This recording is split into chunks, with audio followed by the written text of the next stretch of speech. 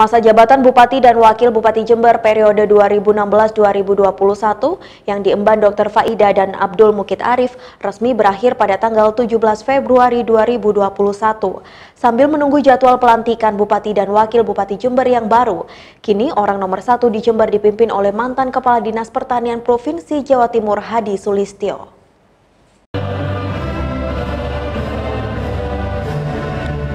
Prosesi serah terima jabatan dari Bupati Lama ke PLH Bupati digelar Rabu pagi di Pendopo Wahya Wibawa Graha. Turut hadir dalam acara tersebut perwakilan Forkopimda Kabupaten Jember.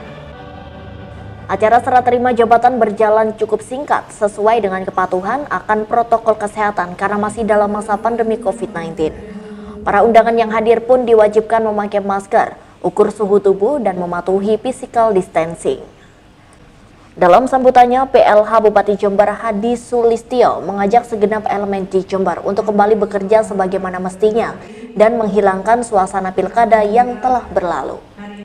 Mengenai sampai kapan dirinya menjabat sebagai PLH Bupati Jember, Hadi Sulistio mengaku belum mengetahui informasi tersebut. Seluruhnya merupakan kewenangan Gubernur Jawa Timur yang menunjuk dirinya. Surat uh, Pak UPLH terus yang saya sampaikan bahwa saya akan menjalankan tugas uh, ya, sehari-hari. Uh, yang kedua semua kegiatan yang saya lakukan ini akan selalu saya lapor kepada gubernur. Dan yang ketiga saya tidak akan uh, membuat suatu kebijakan yang bisa merubah uh, hukum seperti organisasi, pegawaian, dan uh, alokasi anggaran.